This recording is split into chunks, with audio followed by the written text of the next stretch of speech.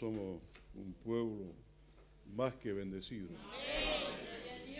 Dios nos ha bendecido, no podemos quejarnos, ni podemos llorar. Como decir que en las buenas y en las malas, Dios siempre nos ha bendecido. Amén. Cuesta las malas decir que el Señor los bendice. La bendición más grande es cuando en las malas el creyente aprende a decir, es mi sanador. Yo he tenido a mi vieja enferma, anoche no me puedo dormir de nuevo con su asma y su tos. Y yo decía anoche, mientras meditaba, cuesta decir amén cuando la cosa está grave. En un momento estaba apenas hablaba, su ronquillo fuerte.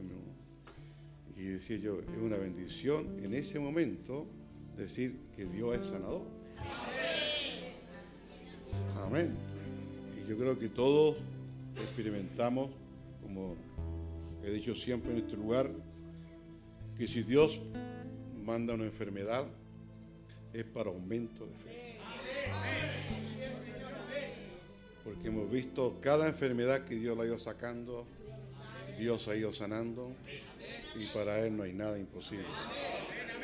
Así que damos gracias a Dios por estar aquí en este año ya, si no me equivoco, fin de septiembre. Nosotros somos más que agradecidos, más que bendecidos. Aquí tenemos a nuestro hermano Peralta, pastor de San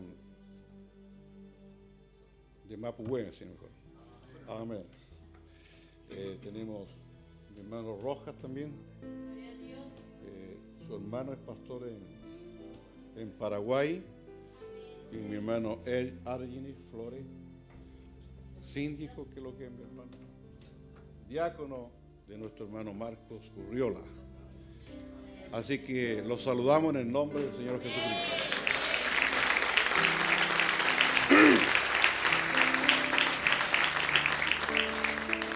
Y quiero decirle mi hermano Marco Urriola que está aquí con nosotros y a nuestro hermano Argines Flores que para nosotros Dios en el año 72, 73, hasta el 80 podríamos decir, Dios bendijo a Venezuela de una manera extraordinaria. De una manera que ellos tenían 50 misioneros para enviar de dos en cada país. Y luego, eh, para nosotros, yo, yo que siempre he trabajado en la literatura y he trabajado repartiendo literatura y entregando por casa y en los pueblos, eh, mandamos a pedir por cajas y nos mandaban por cajas. Nunca nos restringieron lo que pedían.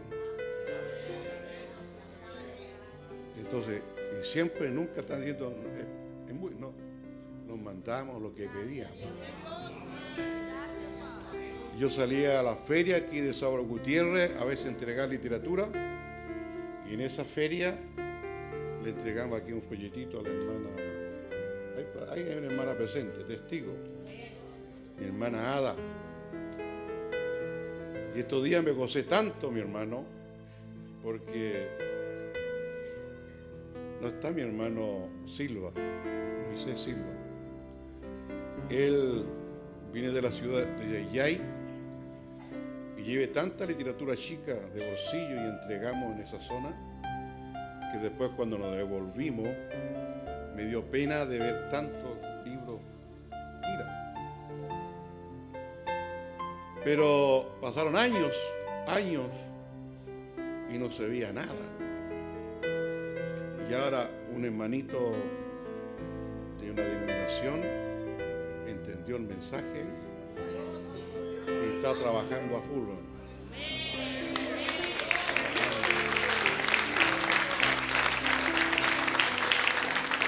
Entonces nosotros podemos decir, nada es el que riega ni nada el que siembra.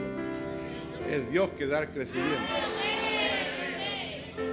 Amén. A veces quisiéramos que, que tiro lo que vamos a hacer, pero Dios lo hace en el momento.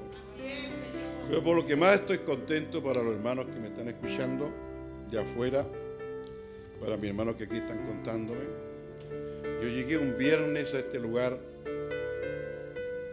después que mi hermano Hernán Tobar iba a verme jugar a la pelota y me hablaba del mensaje apostólico que tenían ellos aquí con el apóstol Ifai y me, hablaba que ellos ungían apóstoles, ungían maestros. Y de repente en una semana cambió su, esquema y me dijo, ahora sí hermano, hemos encontrado el profeta verdadero. Yo le dije, pare, pare, pare, pare, pare. No me hable más nada. le dije. Lo que le voy a decirle, hermano, es que si ese mensaje que usted me está hablando, que ahora he encontrado profeta verdadero, mire, si es de Dios yo voy a ir. Si no es de Dios no voy a ir. Y no me hable mal. Ya, pues tenía. Ah, porque iba a la cancha a jugar, pero era por, por hablarme del mensaje, por hablarme de lo que ellos creían. Y cuando ya me hablaron del profeta, le dije, pare, pare, no tocarla que esa semana jugamos una final. Y un muchacho me da un boleo en mi pierna, me ha fracturado el dedo gordo, los otros quedan todos resentidos. Uy, hermano, después que me bañé no podía caminar. Tuve que el día lunes ir a arreglarme el dedito. Y el día viene llegar cojeando. Le dije, hermano Hernán, voy a la reunión. No puedo llevar lo que tengo que hacer. Dígame dónde queda. Y así llegamos ahí, mi hermano. Yo quiero decirle a todos los hermanos que están presentes, mi hermano. Yo tenía un vicio que nunca lo había podido terminarlo. Aunque estuve casi cerca de cuatro años en la iglesia metodista, tenía un vicio al cigarrillo. De vez en cuando me iba al baño me fumaba impernidamente un cigarro, quizá de una pura chupada, para saciar eso. Yo ya de los siete años fumando. Pero cuando entré el año 72, un viernes, después del 18, por aquellas puertas, yo no sé qué es lo que hizo Dios, pero sí sé lo que hizo Dios. Nunca más pude ver un cigarrillo.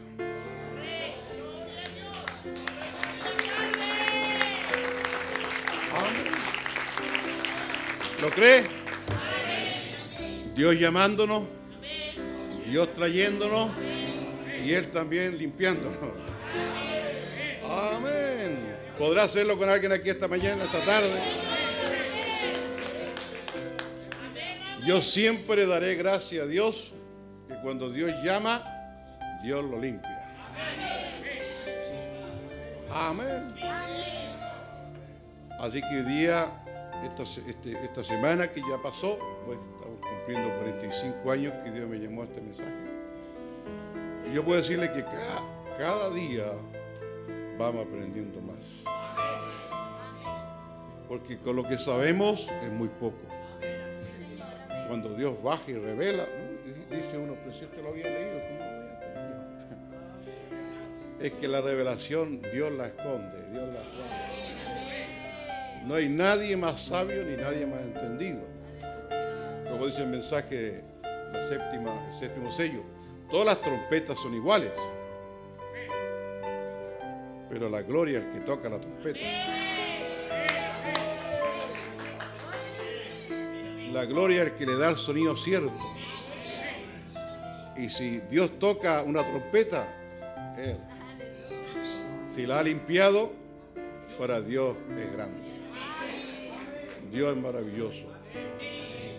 Yo le puedo decirle, hermano y hermano, a todos presentes esta tarde, quizás no soy lo que debiera ser, pero gracias a Dios, mi hermano, Dios me ha ayudado. Amén.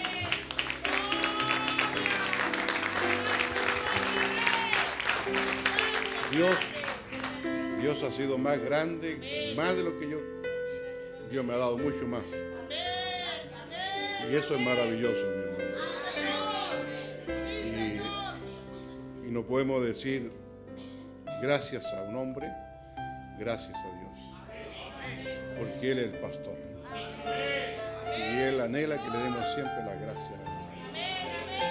Su palabra dice, gloria de los hombres no recibe, pero gloria de un convertido sí. Amén. Ojalá, ojalá que usted como creyente siempre le dé gracia a Dios. Nunca se engrandezca, nunca se crea más sabio que el otro.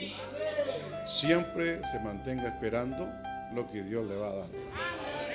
Y aunque sepa una respuesta, no la conteste. En el año 74, fin del 74, ungió un pastor para Santiago, estaba un poquito desordenado y fue elegido mi hermano Peralta eh, en Talcahuano con mi hermano Hernán Tobar y él fue elegido pastor. 74, 75 me pidió, me pidió que le una iglesia. Allá en este lugar de Palmilla, Fuente Rabia. Luego pasó el tiempo, necesitó un copastor, hermano Peralta, buscaron varios hermanos. Yo no podía ser copastor porque mi esposa no se congregaba. Ella empezó a congregarse el año 76. Así que de repente me eligieron y, empecé a trabajar con el hermano Pedro en la parte de la palabra, en la parte de, de copastor, de diácono, síndico. Era, todo, era generar todo. Pero Dios siempre me bendijo porque yo reconocí que Él era mi pastor. Y nunca a nadie le da una respuesta si Él no me autorizaba. Si Él me decía a mí, contéstale, le contestaba. No hay peor defecto en una iglesia cuando los hermanos contestan.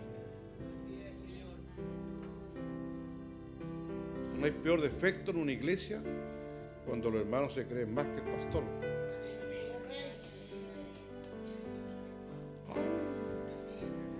Dios tiene un orden. Luego, en ese tiempo teníamos poca literatura. Yo tomé toda mi literatura que tenía la puse a los pies por, necesidad. Cuando Dios levanta un colaborador, un ayudante, tiene que ser fiel. Amén. Oh, espero que Dios le ayude. Dios ayuda aquí a mi hermano Esteban, nieto de mi hermano Peralta. Me han dicho que es muy buen trabajador. Bueno, que sea mejor. Amén. Amén. Pero para ser mejor hay que ser más obediente. Para ser mejor hay que ser más sencillo. Para ser mejor hay que mirar siempre a Dios. Y Dios tiene un orden. Y cuando pasamos a llevar ese orden, nos salimos fuera de orden. Así que yo estoy contento porque en estos años Dios me ha bendecido, Dios me ha prosperado. Y sentí mi hermano conversar con mi hermano Urriola estando en Valdivia. Le dije yo si hubiera la oportunidad que estuviera aquí con nosotros.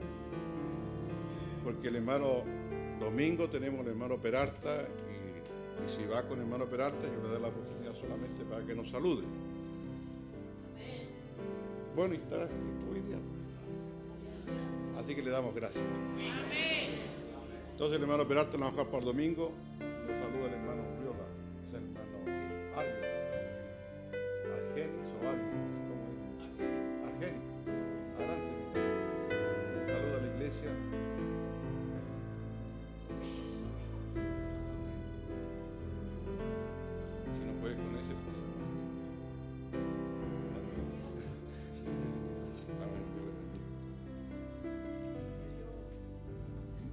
Dios bendiga a este pueblo bendecido, ¿verdad? Somos un pueblo bienaventurado y bendecido del Señor Jesucristo. Y es porque sabemos que Él nos ha escogido desde antes de la fundación del mundo. Hermano, ya eso lo dice todo. Que Él haya pensado en nosotros antes de crear cualquier estrella, antes de crear un planeta, antes de comenzar su creación, ya Él pensó en usted. Desde ese momento somos los bendecidos del Señor. Es como cuando en una boda, ¿verdad? Están esos esposos y tienen allí, ¿verdad? Sus planes hechos y tienen allí en su mesa sus tarjetas de invitaciones. Y entonces ellos agarran la primera tarjeta, piensan, conversan a la hermana fulana de tal y lo escriben en esa tarjeta.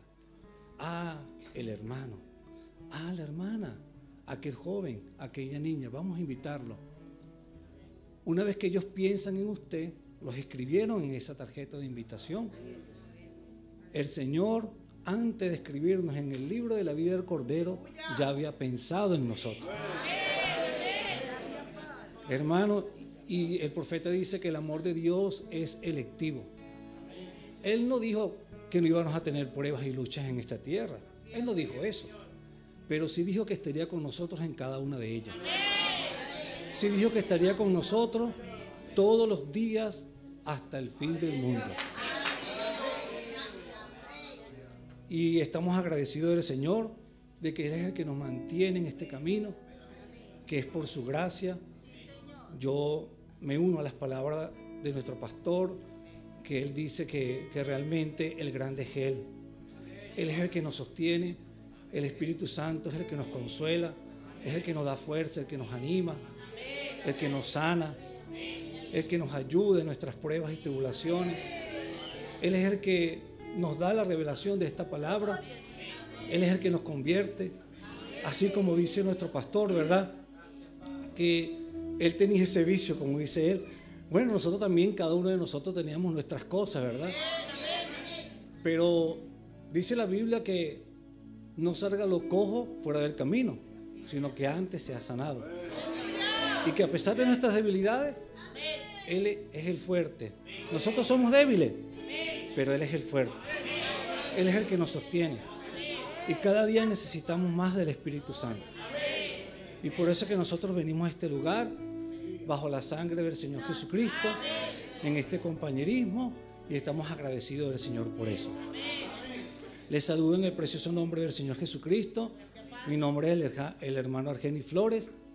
Bueno, no, no soy familia de sangre del pastor, pero soy familia espiritual de él, porque él es mi hermano en Cristo Jesús. sí, y bueno, yo en ocasiones lo veía a ustedes por video y ahora lo estoy mirando así, ¿verdad? Y bueno, no es igual, no es lo mismo. Y venimos de, de Venezuela, ¿verdad? En ese bello país, es nuestro país y amamos a nuestro país. Aunque estamos allí, usted sabe, temporalmente porque algún día estaremos en otro reino, ese no es nuestro reino. Ustedes ya conocen las, las dificultades y situaciones que hay en ese país, realmente son muy, bueno, seguramente llegarán las noticias peores acá, ¿verdad? Pero algo sí les voy a decir, nosotros nos sentimos allá como cuando, ustedes saben, empezaron a caer las plagas allá en Egipto, pero en Gosén, donde estaba el pueblo de Israel, ahí no ocurría nada, hermano. Estamos agradecidos del Señor. La gloria sea para el Señor. Bendito sea el nombre del Señor. Y que mientras que había tinieblas, la penúltima plaga fue tinieblas total en Egipto. Y estamos viendo que hay tinieblas total en este mundo. Y fíjense esa señal del eclipse que hubo en Estados Unidos, donde el profeta llegó. Pero había luz en las habitaciones de los israelitas. Y nosotros creemos que aquí en las habitaciones de los hijos de Dios hay luz. Y es la luz de Cristo. Y por eso es que Él nos dijo que vosotros sois la luz de este mundo. Estamos trabajando con, los, envíos de literatura, ya que nuestro pastor le comentó esto. Em, es una obra que se comenzó a hacer hace más de 50 años con nuestro pastor, el hermano Oscar Galdona. Y bueno, simplemente nosotros estamos continuando esa obra, dándole continuidad de esa obra que Dios comenzó a hacer a través de nuestro hermano Oscar Gardona. Y que Dios, bueno, nos ha bendecido en su gracia y que por Él es que nosotros hemos continuado en esta obra del envío de literatura, de lo que es la traducción, la impresión y de los envíos, a pesar de que cada día se, se van cerrando los caminos, pero nosotros estamos viendo la mano de Dios como Él va abriendo camino delante de nosotros. Reciban un saludo de la novia de Venezuela, que el Señor Jesucristo los siga bendiciendo. Dios los bendiga.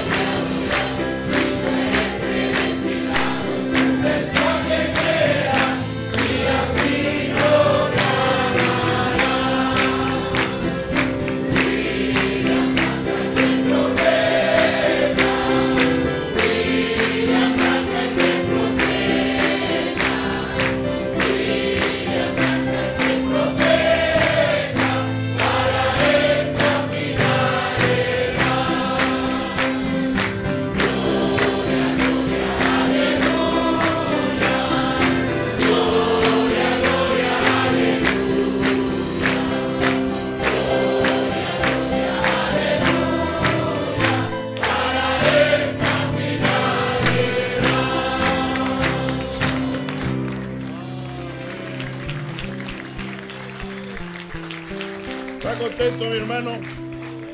Vamos a cantar entonces para recibir a nuestro hermano Marcos Urriola, porque el tiempo se nos va avanzando demasiado. Sé que algunos tienen problemas de locomoción, pero si el hermano se alarga, ustedes pueden salir. Y los que quedamos, quedamos. Amén. Dios le bendiga. Amén. Solo que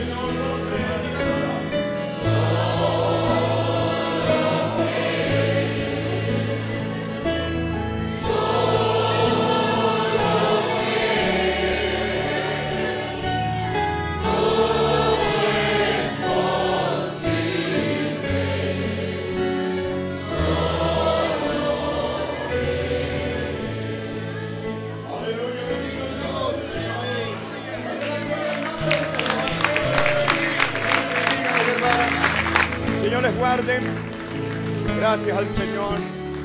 Estamos contentos de estar aquí juntos en esta hora para la gloria del Señor. Damos gracias a Dios, doy gracias al Señor que me permite estar entre vosotros, estar muy contentos, estamos, sentimos muy eh, privilegiados y honrados en la invitación que nos ha hecho nuestro hermano Jorge Flores para estar con ustedes en esta tarde. Dios les bendiga. Como dijo mi hermano Argeni, les hemos visto por video, ¿oyeron? Les hemos visto y nos hemos gozado con ustedes en estas predicaciones, en estos cultos que han tenido.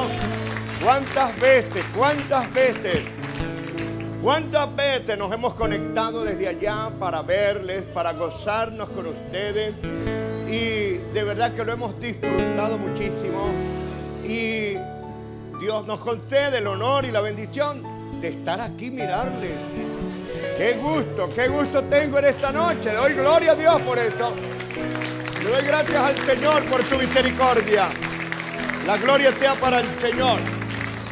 Muy bien, así que estamos contentos de estar juntos y estar con ustedes. Voy a, vamos a leer la palabra del Señor. Amén. Sí, Señor. ¿Cuántos dicen gloria a Dios? Que el Señor nos bendiga. Bueno, y estamos muy contentos, pero estoy mirando la hora que se va tan rápido y queremos apresurarnos para la gloria del Señor. Amén. Vamos a buscar en el libro de lamentaciones. Fíjate bien la, cita. Lamentaciones, ¿sí? Lamentaciones, el capítulo 5. Y no porque nos vamos a lamentar esta noche, porque esta noche estamos de júbilo. Esta noche estamos de gozo, de alegría. Es una experiencia nueva para nosotros. Quiero presentarme. Venimos desde Barquisimeto, Venezuela. De la convulsa, convulsionada Venezuela, nuestro amado y querido país Venezuela. Yo quiero decirlo que Venezuela todavía está ahí. Yo quiero decirles que Cristo Jesús, nuestro gran Señor, tiene a la novia de Cristo en Venezuela resguardada y librada y protegida. La gloria sea para Dios. La gloria para Dios, mis hermanos. Traigo saludos de la iglesia allá en Venezuela, en Barquisimeto. Traigo saludos de estos creyentes preciosos que estamos perseverando y que Dios nos ha permitido, como decía en la iglesia de nuestro amado pastor, el hermano eh, eh, de nuestro hermano querido, nuestro hermano Pedro, les decía que lo que ha sucedido en Venezuela es que Dios ha permitido que al nido de águilas le sean quitadas las plumas de comodidad. Mamá águila, eso es lo que ha sucedido en dos platos. Se lo voy a decir lo que está sucediendo en Venezuela. Yo no vengo a hablar de política, de que para allá. No, vengo a decirle, Dios nos ha sostenido. Y vengo a decirle, la gracia de Dios nos ha guardado y nos ha provisto. Nos ha provisto y el Señor obra para que consigamos todo. Hay problemas de comida, hay problemas de las, necesidades básicas para, para sobrevivir, para vivir, para alimentarnos. Estamos limitados en eso. Es, difícil conseguirlo y cuando lo conseguimos, para obtenerlo hay que pagar grandes cantidades de dinero. Esa es la situación crítica allá. Sin embargo, nuestro Dios nos ha provisto porque es que las promesas de Dios no van a caer en tierra. Es que, es que, mire, se necesita que haya una crisis, un momento de dificultad para que para que se aviven las promesas de Dios. Aleluya, gloria a Dios. Y las promesas son, mi Dios pues suplirá todo lo que os falte conforme, conforme a qué, aleluya. Mi Dios suplirá todo lo que os falte, dice la escritura. Conforme, oiga, lo, mire lo que le voy a decir, y perdone que los tengo de pie, pero ustedes se van a sentar y yo no. Fíjense bien, lo estoy castigando, pastor. No, perdonen, es amor. Pero óigame lo que le quiero decir. Dice, mi Dios pues suplirá todo lo que os falte conforme a la estabilidad del país. ¿Dice así la Biblia? ¿Ya que no dice? Conforme como esté el dólar. ¿Verdad que no dice así? Conforme al gobierno que esté mandando. ¿Ah? Si sigue la candidata, o si la quitan y viene otro, ay Dios mío, veremos qué pasa, veremos qué pasa. ¿Y el Dios de la gloria? Nosotros no dependemos de gobierno, no dependemos de política, no dependemos de economía. La Biblia dice, mi Dios pues suplirá todo lo que os falte conforme a sus riquezas en gloria. Aleluya, aleluya. Gloria a Dios. Aleluya no conforme a los gobiernos que estén allí. No conforme a los hombres que se monten allí en esos lugares donde una vez que llega el nuevo presidente o la nueva presidente, se sientan allí y se les sienta a ellos un príncipe. ¿Sabían ustedes? ¿Cuántos entienden lo que digo cuando digo príncipe? Un demoniote, un demonio. Un príncipe se les mete. ¿Oyó? Y Dios mío, ay, ay, ay. Y comienza esa gente a, establecer un reino. Y recuerden que la Biblia dice como señal, el Señor nos dejó como señales del tiempo. Van a tener que sentarse, por favor, siéntense. No los castigo más, pastor. Ya estoy llegando y ya estoy ya cometiendo falta. Los estoy castigando teniéndolos de pie. No, no, pero siéntese un momentito porque Quería entrar en la palabra de una, pero quiero saludar. Gracias, Padre. Y ya que el Señor nos da para decir estas cositas, pues las queremos hablar. El Señor en Mateo 24, como señales del tiempo del fin, dijo que nosotros veríamos, una de las señales serían políticas o nacionales.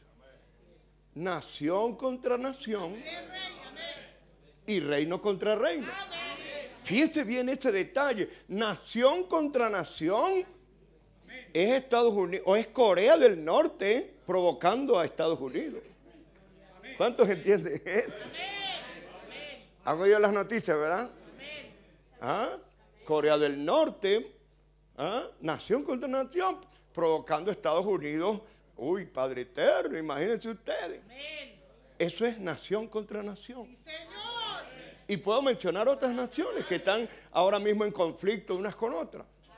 Pero luego habló el Señor reino contra reino. Reino, un reino peleando contra otro reino. Y un reino tiene un príncipe o tiene un rey. ¿No piensa usted que pueden ser esos reinos de la tierra? ¿No piensa usted que puede ser lo que Satán le dijo al Señor en Mateo 4 cuando le dijo que le mostró, ¿qué fue lo que le mostró al Señor? Le mostró los reinos. Los reinos que Él tiene sobre la tierra. Le mostró reinos. Y le dijo, pues yo, imagínese usted cómo sería ese, ese tercio ese candidato, nosotros en Venezuela usamos mucho la palabra candidato, pero es para referirnos a ciertas personas que no lo queremos mencionar. Ese candidato Satán dijo, pues es que yo en cada país tengo un reino. Y tengo un rey o príncipe que es el que los gobierna toditos. Recuerde lo que dijo el profeta de esta edad, que todo gobierno sobre la tierra es controlado por quién? Por Satanás entre paréntesis, el Señor lo confunda y lo reprenda a Satán. Pero es que Él ha trabajado estableciendo lo que el profeta llamó el Edén de Satanás aquí en esta tierra. Y ha estado ocupadísimo Satán estableciendo y controlando. Y él tiene sus personajes y sus instrumentos. Así como Cristo tiene su novia. Aleluya, aleluya. ¿Cuánto da gloria? Oiga, y él está trabajando y él los tiene. Y son instrumentos, hermanos, preparados por el enemigo y eh, se les mete esos coroticos. Decía el hermano Galdona ya, esos corotos se le mete, esos demonios, y esas personas llegan a, a establecer un reino.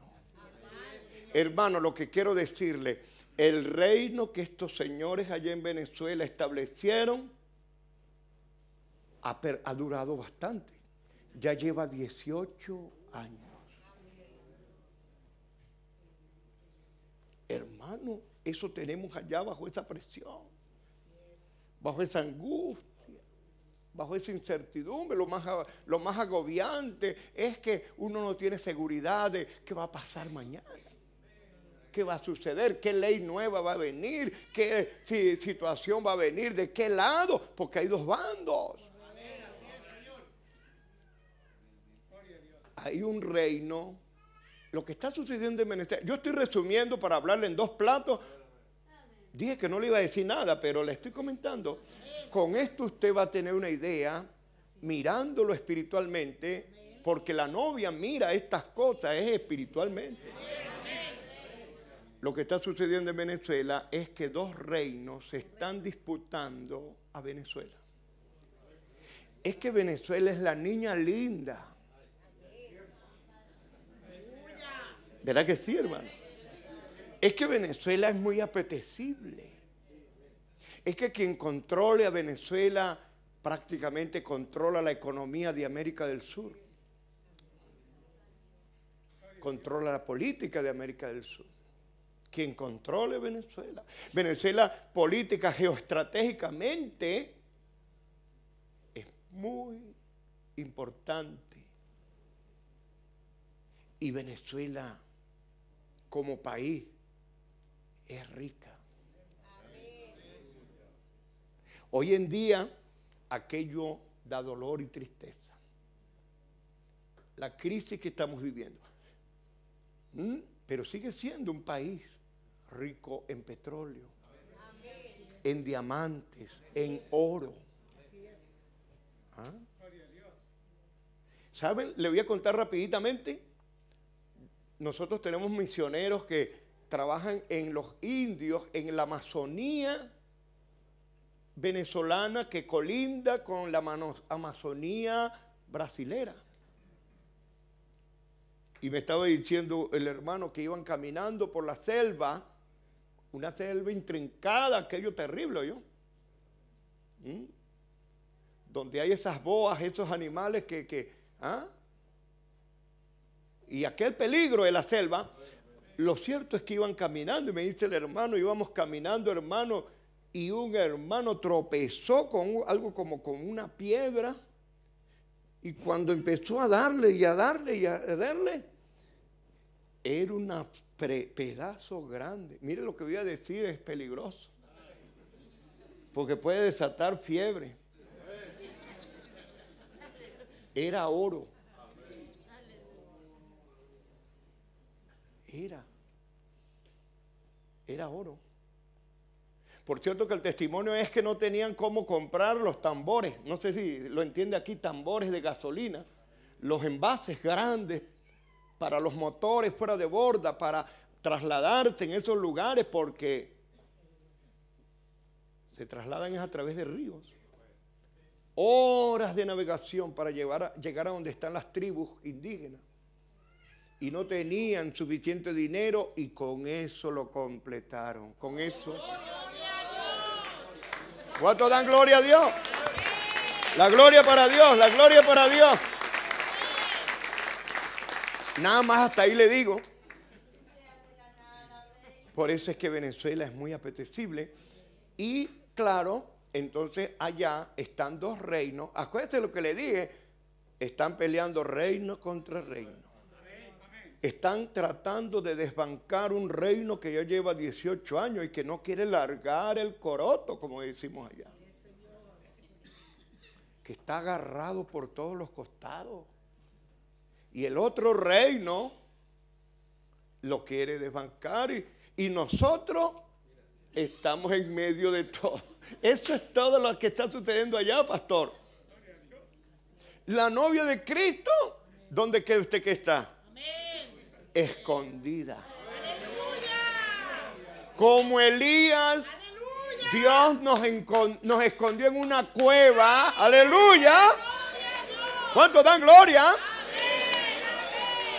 Siempre Dios tiene una buena cueva donde esconder a sus hijos. En aquel tiempo de Elías, Dios le, le preparó una cueva a Elías bien equipada bien acomodada. Dios tiene cueva. Esa palabra cueva está claro aquí, ¿verdad? Dios tiene cuevas, Dios tiene refugio. Vamos a llamar refugio. Vamos a llamar escondederos. Para los creyentes, para la novia. En tiempo de angustia Dios siempre tendrá un escondedero para nosotros. Aleluya. Gloria a Dios. Aleluya. Bendito su nombre. Dios siempre tendrá un lugar donde esconderte y donde proveerte. Y alguien que quizás no sea muy digno para que te ayude. Le quiero mencionar del escondedero que le preparó Dios al profeta Elías. Un lugar, una cueva acondicionada con un riachuelo interno.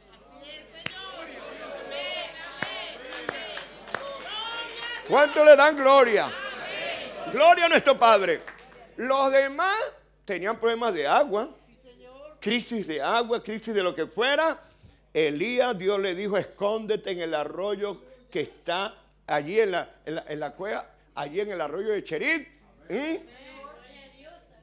Y Dios, mire, yo pienso que Dios, para, no, no le interesaba que nadie supiera dónde estaba el profeta y dijo, voy a usar unos instrumentos, unos canales de ayuda. Que para comenzar no eran muy dignos. No eran muy dignos de alimentar al profeta. Porque era, ¿cómo es que llaman ustedes acá lo, que nosotros llamamos zamuros allá? Sopilotes o cuervos. ¿Ah? Cuervos, cuervos.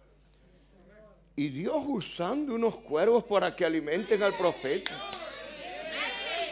Eso habla de que Dios puede usar canales o personas que no son muy dignos, pero para que sean de bendición para ti. La, Biblia dice en, Eclesiastés, el, eh, eh, el, sabio Salomón dice que Dios le da al rico para que tenga como darle al pobre. ¿Cuánto le dan gloria a Dios? Aleluya. Dios puede hacer cuantas cosas para, para alimentarnos. Porque yo le estoy diciendo todo esto para dar testimonio cómo Dios nos ha guardado y nos seguirá guardando allá. Mientras estos dos reinos pelean, Dios tiene una, un lugar, un escondedero donde tenernos a nosotros y de alguna manera se cumple la escritura que dice, no he visto justo desamparado. No he visto de su descendencia que mendigue pan. Ciertamente la crisis ha sido fuerte y nosotros como iglesia hemos hecho un plan de ayuda para ayudar a los hermanos y las familias más pobres o más necesitados entre nosotros, para que, procurando que se cumpla lo que dice la escritura, que ningún necesitado había entre ellos. ¿Recuerdan eso? Entonces nosotros hemos hecho un plan de ayuda, ¿verdad? Donde hacemos ofrendas de víveres, ofrendas de comestibles y los diáconos de la iglesia se encargan de estar pendientes qué familia tiene más necesidad o puede estar allí, ¿verdad? Porque hay hermanitos que son no tienen suficientes recursos, apenas quizás tienen en la familia un solo salario mínimo y no pueden comprar al precio que se están vendiendo las cosas. Hay hermanitos que para tener las cositas que necesitan tienen que hacer fila en el súper por tres, hasta tres días. Y cuando llegan, se acabó. Hermano querido, así están las cosas. Bueno, nada más hasta ahí le voy a decir porque lo demás es de nosotros allá. Es para que tengan una idea de cómo están las cosas, pero nuestro Dios nos puede librar porque le vuelvo a decir, la experiencia que tenemos nosotros es que las, promesas de la Biblia no llegan a ser reales para usted hasta que usted no tiene una necesidad.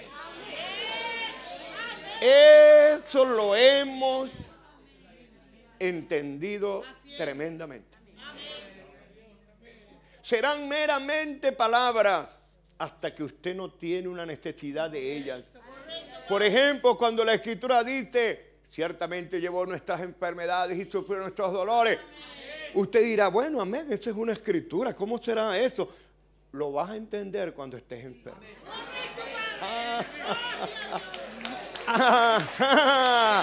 ¿Cuánto dan gloria? ¿Ah?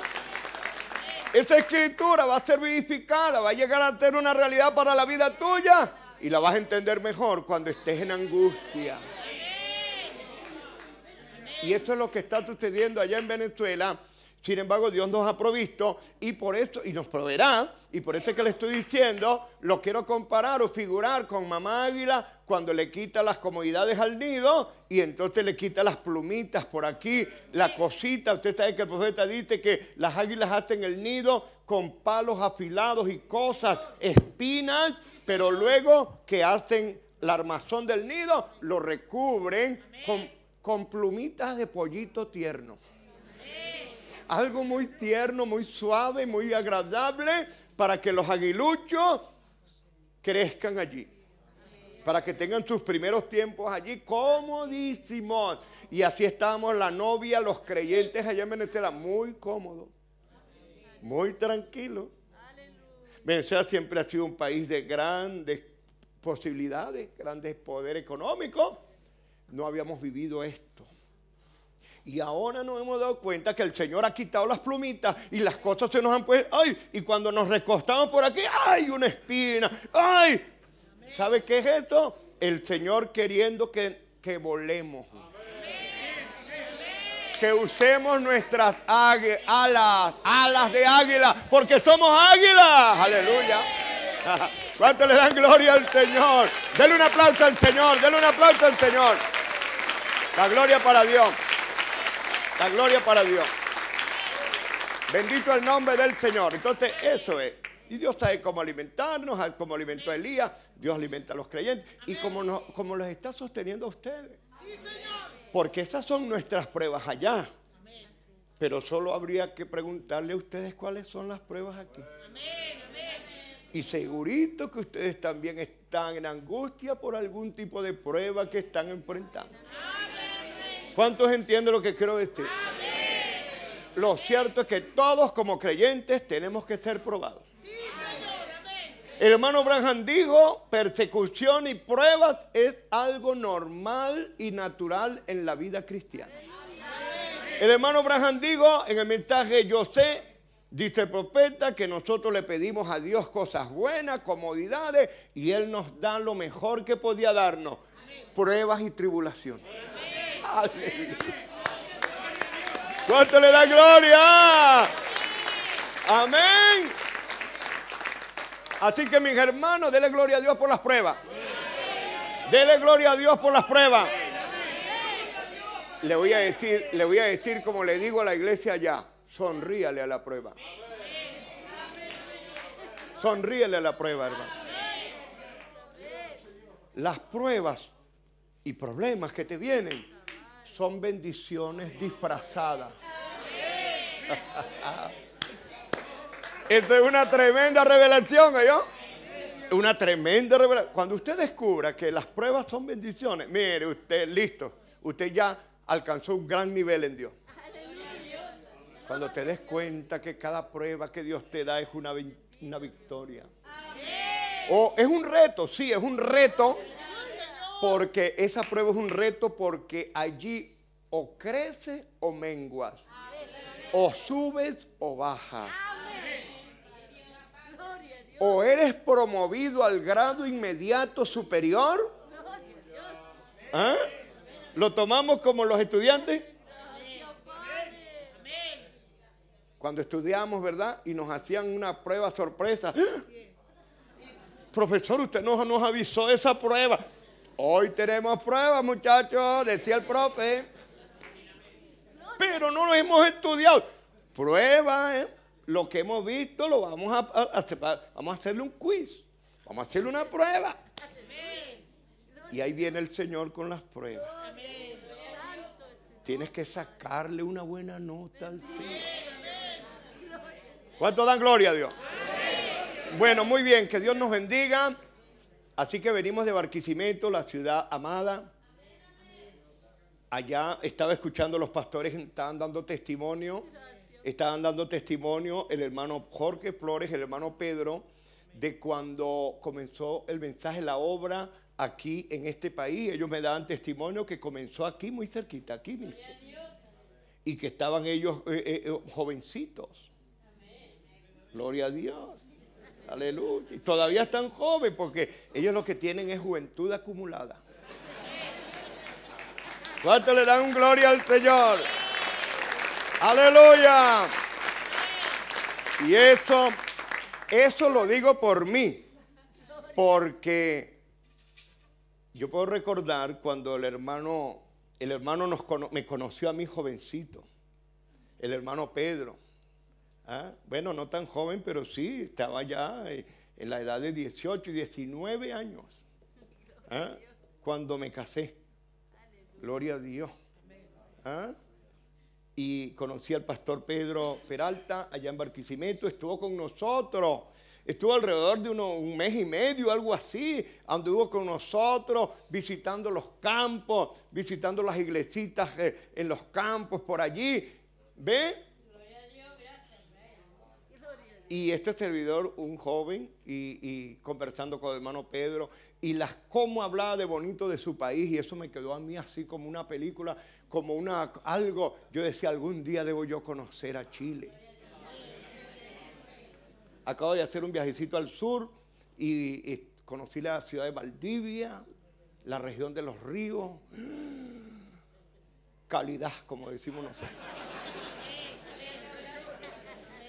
No, y me dicen que falta la región de los lagos. Y no, no, no, me falta mucho ahora, me falta mucho. Así que les cuento pues que el Señor nos dio, nos ha dado bendición en aquellos años cuando comenzó el mensaje. Este seguidor era un joven y me permitió el Señor por su gracia crecer en edad y crecer en esta palabra al lado de esos hombres, de nuestro pastor el hermano Oscar Galdona y de nuestro hermano Prado, otro pastor asociado, el pastor asociado José Antonio Prado Montilla. Los dos llegaron a venir acá a Chile. Este servidor le tenía negado venir en esos años porque cuando el pastor eh, Prado, José Antonio Prado venía, entonces este servidor se quedaba en la iglesia porque era director de cantos de la, de la iglesia del hermano Galdona y del hermano Prado, este servidor, en esas edades. 17 años, 18 años, director de canto de la iglesia. ¿Ve? ¿Ve? Y por la gracia del Señor. Y así nos permitió el Señor estar junto a esos pastores hasta que Dios los recogió. Hoy en día el Señor ha querido que así con todas las debilidades y flaquezas que podemos tener, estemos allí encargados de esa iglesia, eh, saliendo adelante con la ayuda del Señor. Les pido sus oraciones. Oren por nosotros, no es fácil, estamos allá con una tremenda presión, carga espiritual, pero el Señor nos ha ayudado y nos continuará ayudando.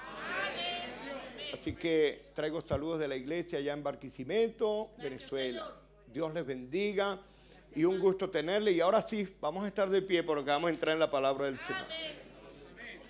Gloria a Dios, gloria a Dios, gloria a Dios. Aleluya. ¿Cuántos dan gloria al Señor? Aleluya. Tienen la escritura que les dije, ¿verdad?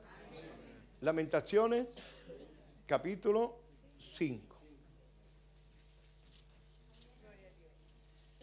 Lamentaciones, capítulo 5.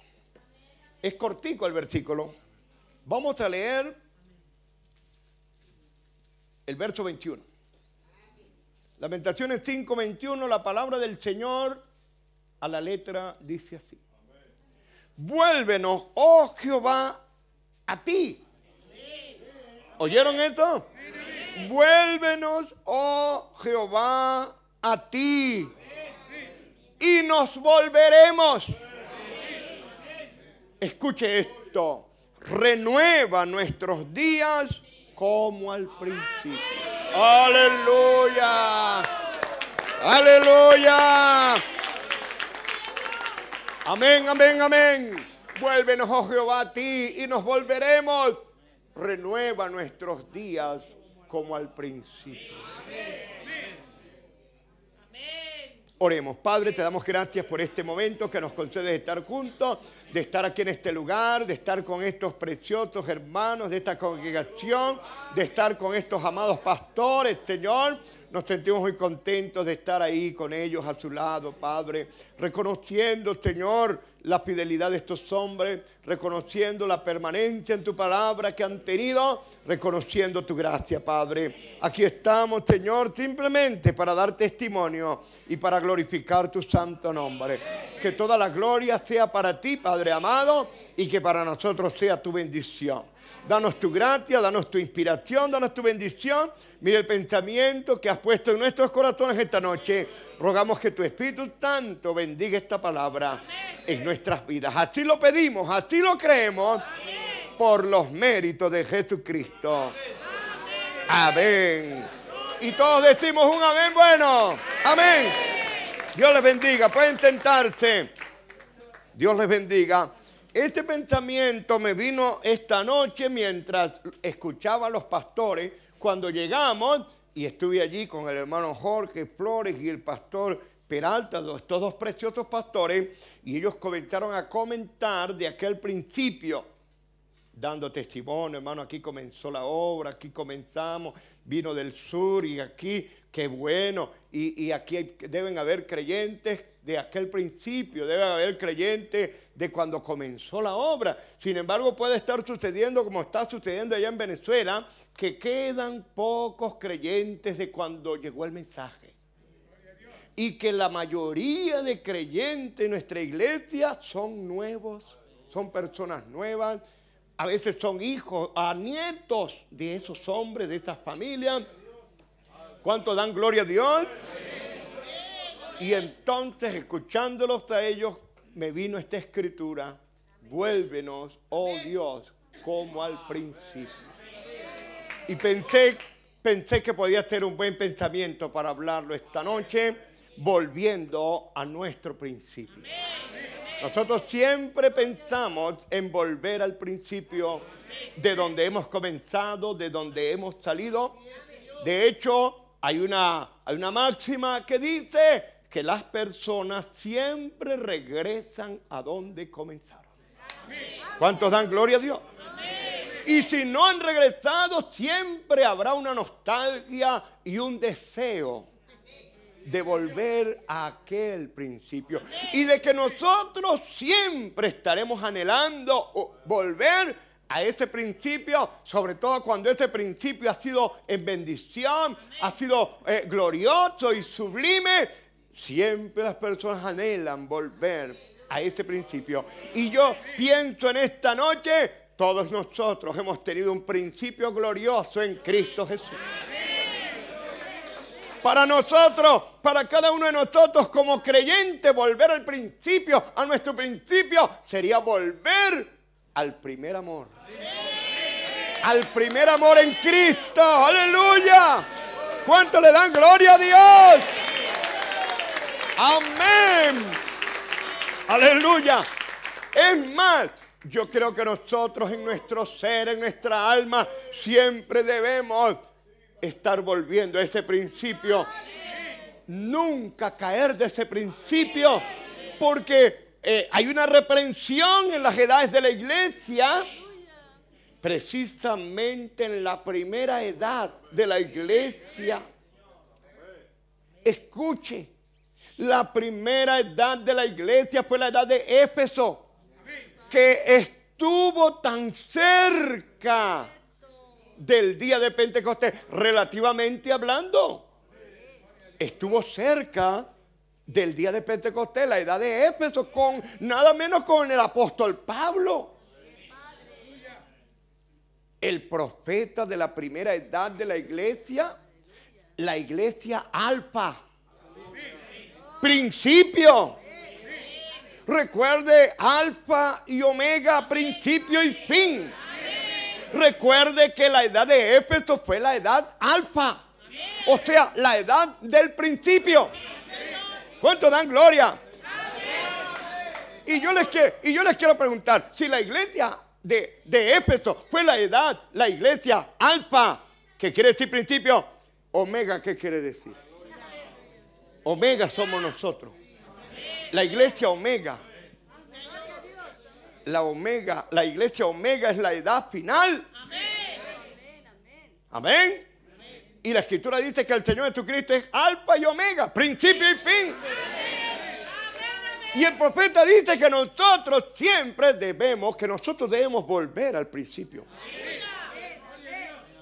El hermano Branja cuando vio la visión de la novia, vio que la novia pasó la primera vez. Y él la vio tan hermosa, gloriosa y joven marchando al ritmo del himno, firmes y adelante, huestes de la fe. Aleluya. Ahí vio el principio de la novia el profeta. Ahí vio a la novia del principio del día o de la primera edad de la iglesia. Amén. Y recuerden la visión de la novia. Después comenzaron a pasar diferentes novias de las diferentes edades o diferentes iglesias. Y fueron tan vulgares, fueron tan inmundos, fueron tan fuera de la palabra que el profeta dice estaba llorando y pensando cuando, sobre todo cuando vio la iglesia de los Estados Unidos tan inmoralmente presentada. ¿Saben? ¿Recuerdan ustedes lo que vio el profeta en esa visión? Quien iba dirigiendo a esa iglesia denominacional era una bruja. Espiritismo. ¿Ah? Cosas de demonio. Y el profeta llorando, dice, comenzó a llorar todos los predicadores, todo el trabajo que hemos hecho para presentarle al Señor. Esta es la novia que hemos pero luego, estaba lamentándose, luego yo la voz que le dijo, la novia volverá a pasar otra vez. Aleluya. Volviendo al principio, volviendo a nuestro principio, volviendo a nuestro principio. La novia volverá a pasar otra vez, dice el profeta. Eso lo puede leer usted en mensajes, como él lo dice, por ejemplo, en reconociendo el día y su mensaje. Dice el profeta, mi corazón entonces saltó de gozo al saber que habrá una novia. y que ella será hecha del mismo material como fue hecha la novia en el principio. Aleluya. Gloria al nombre del Señor. Entonces, yo quiero hablar de esta novia volviendo al principio. Porque yo creo que nosotros, aunque somos la novia de la última edad, pero nuestra mirada está puesta en el principio.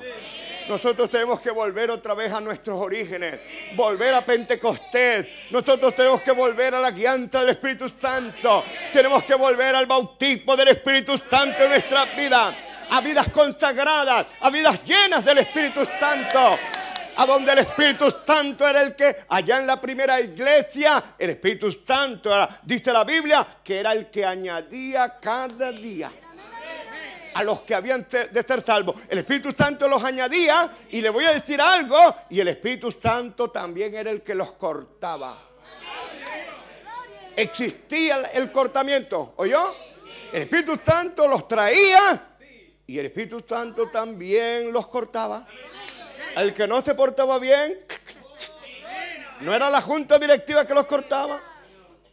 ¿Cuánto dan gloria a Dios? El Espíritu Santo los cortaba como cortó a Ananías y Zafira. ¿Cuántos entienden esa parte? Existía el cortamiento y el Espíritu Santo le dijo, ah, por boca de Pedro, ah, amén. No has mentido a los hombres sino a Dios. ¿Cuántos dan gloria a Dios?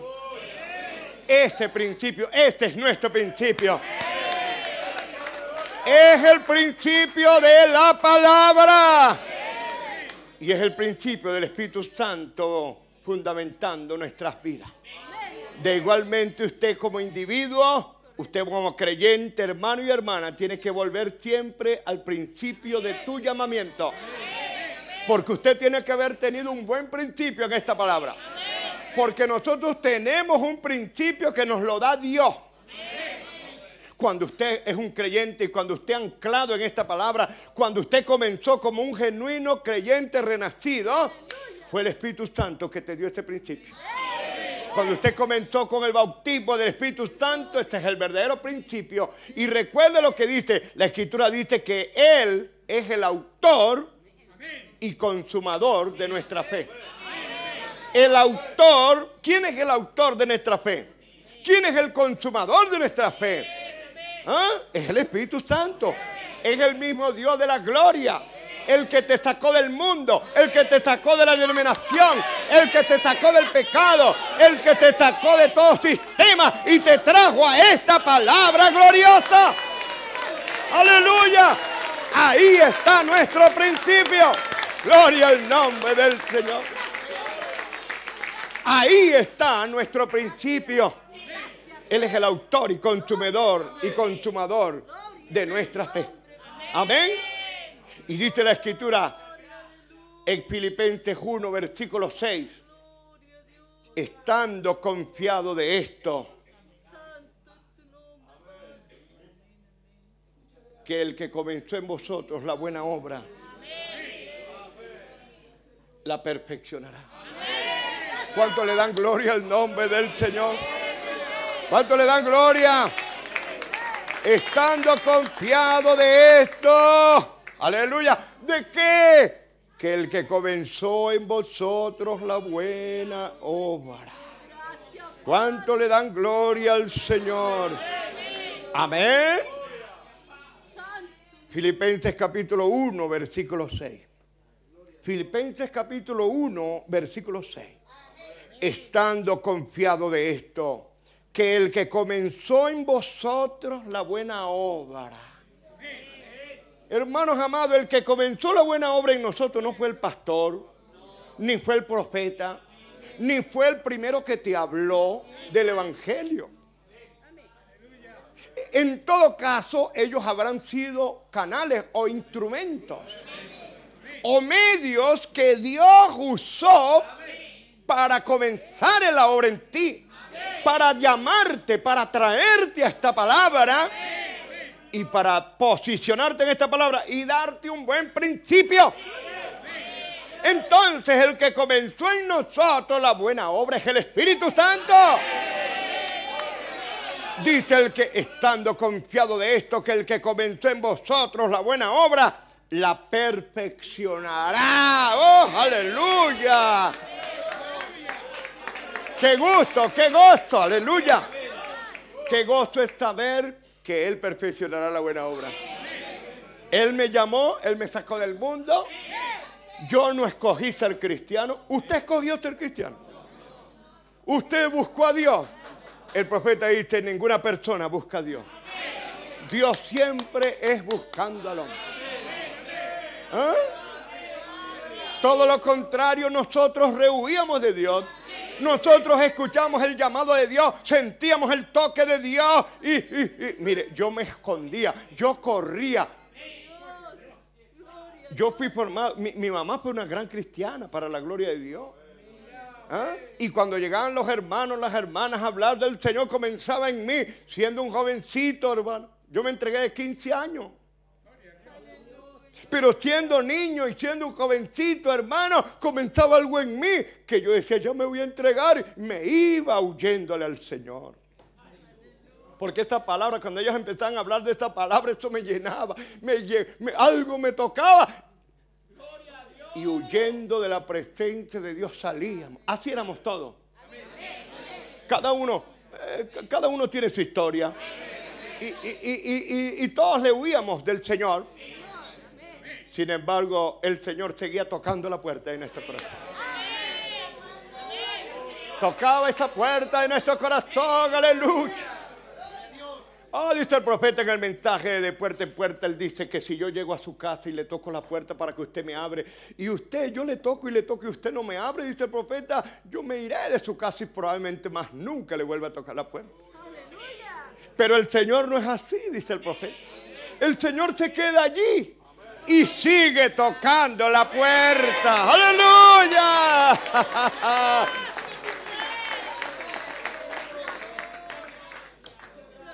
Amén. He aquí yo estoy a la puerta y llamo. Si alguno abriere la puerta, ¿ah? entraré a él y cenaré con él. ¿Cuánto le dan gloria al nombre del Señor? Aleluya. Ah, qué hermosa es la palabra del Señor. Qué hermoso. Hemos tenido un buen comienzo, hermanito. Así que usted sabe que usted no está aquí por el hombre. Usted no está aquí porque lo trajeron. Usted no está aquí porque, ay, porque nada. Usted está aquí porque Dios lo llamó. ¿Tiene, ¿Tiene esta convicción? ¿Tiene esta certeza? ¿Seguro? ¿Está cierto de Dios?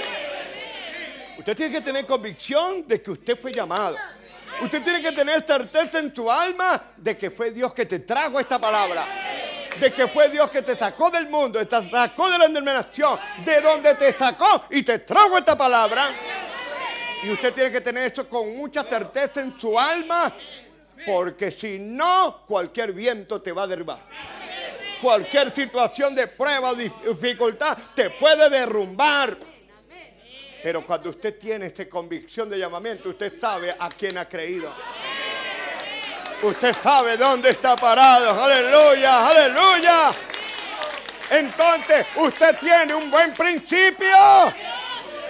Usted comenzó como una genuina paloma renacida.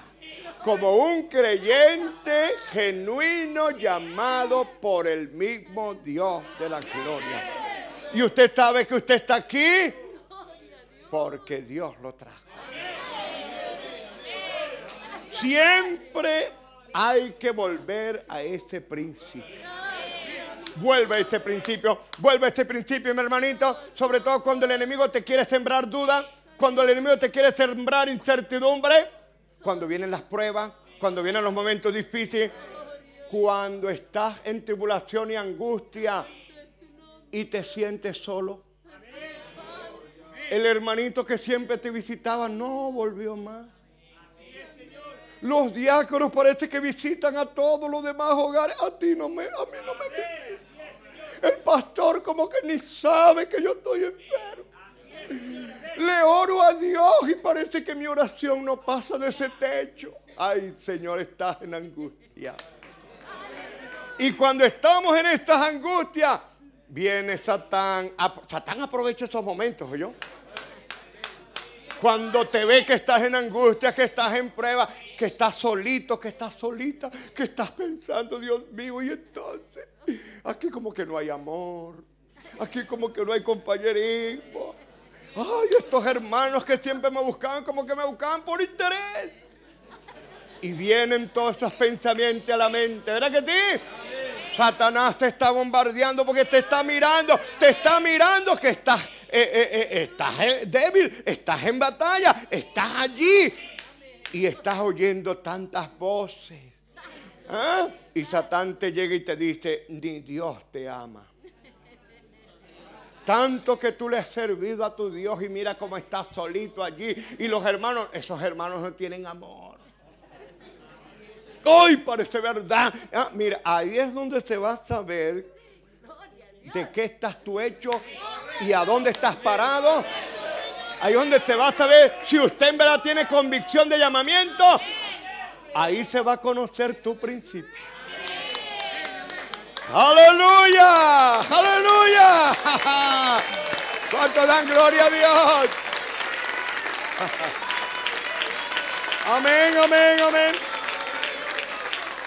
Ah, si eres un creyente emocional, por ahí se te va a ir la cosa. Si eres un creyente que no está bien establecido en esta palabra, mi hermanito y mi hermana, por ahí el enemigo te va a desbancar. Tenga cuidado. Mejor es que usted tenga un fundamento sólido en esta palabra. Pruebe, demuestre que usted no ha creído en hombre. Demuestre que usted está bien plantado. Demuestre que usted es un creyente, como dice la Biblia en el Salmo primero en el Salmo primero dice, bienaventurados. Aleluya. Amén. Estos hombres y mujeres de Dios que han tenido un buen principio, dice, y serán como árbol plantado junto a corrientes de aguas que dan su fruto a su tiempo y su hoja no cae. Aleluya. Gloria al nombre del Señor. Árboles plantados. Árboles plantados. Así dice el Salmo primero que debemos ser nosotros. Será como árboles plantados junto a corrientes de agua que da sus frutos a su tiempo y su hoja no cae y todo lo que hace prosperará. Aleluya, aleluya. ¿Sabe usted que el profeta dice que los vientos lo que hacen que estremeten el árbol y que parece, usted lo ve que se parece que se van a caer. ¿Ah? Dice, pues, está tranquilo, este árbol está bien plantado y ese viento lo que está es permitiendo que allá abajo la tierra se afloje y las raíces se profundicen. Aleluya. Oh, esto es lo que debe producir las pruebas. ¿Cuánto le dan gloria a Dios? Amén. Bendito sea el nombre del Señor. Amén. El profeta en el mensaje, ¿cómo puedo vencer? Dice el profeta, yo he traído este pensamiento, dice el profeta, porque es el tiempo cuando no debemos permitir que el espíritu de avivamiento muera en nosotros. ¿Escuchó eso, mi hermanito? No debemos, es el tiempo donde no debemos permitir que el espíritu de avivamiento muera en nosotros, dice el profeta. Dice, debemos avivarnos siempre, a cada día, a cada momento del camino. Debemos avivarnos. ¿Cuántos dan gloria a Dios? Ahora, ¿cómo nos avivamos? Bueno, algo tiene usted que hacer. Póngase a orar, levántese, diga amén, diga gloria a Dios. Venga al culto, lea la Biblia. Aleluya. Pero algo tenemos que hacer, aleluya. Porque necesitamos mantenernos avivados. No podemos, dice el profeta, no podemos permitir que el espíritu de avivamiento muera en nosotros. Dice el profeta más adelante, vencer, dice, es mantenerse con vida.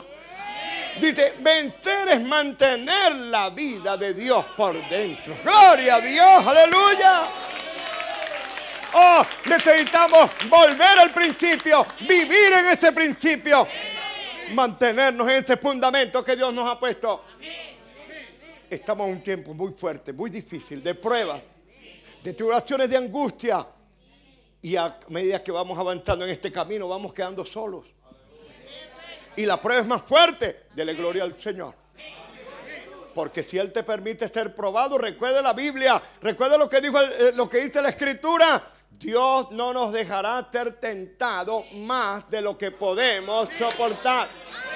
¿Escuchó eso? Si tú piensas que tu prueba es muy fuerte, no, Dios no nos va a tentar más de lo que nosotros podemos soportar. La prueba que te está viniendo es justa a tu medida. Es como un buen traje hecho a la medida. La prueba que te tocó era la prueba ideal para tu vida. Cuando Dios escoge, cuando Dios escoge la prueba para cada uno de nosotros, mis pruebas a lo mejor no sirven para ti. La tuya es exclusiva. Es hecha a tu medida porque es la prueba que Dios te está permitiendo, porque Él ve que esa es la que tú necesitas. Y esa es la que va a producir en ti lo que Dios quiere. Aleluya. ¿Cuánto le dan gloria a Dios? Ay, ay, ay. Yo veo que la prueba de ustedes es que ustedes se esfuerzan mucho, trabajan bastante, trabajan, están sometidos a unos regímenes de trabajo terribles, a unos horarios terribles, y cuando llegan al culto parece que es el único momento que están quietecitos.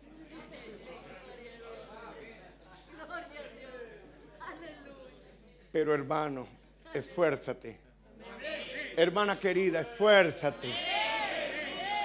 Esfuérzate y sé valiente.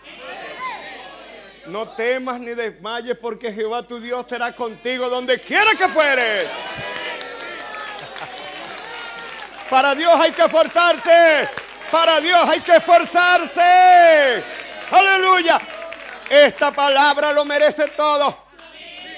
Y si algo me agrada del profeta Jeremías, porque el libro de lamentaciones lo escribió Jeremías, si alguien me algo me agrada de Jeremías, era que siempre anhelaba volver al principio.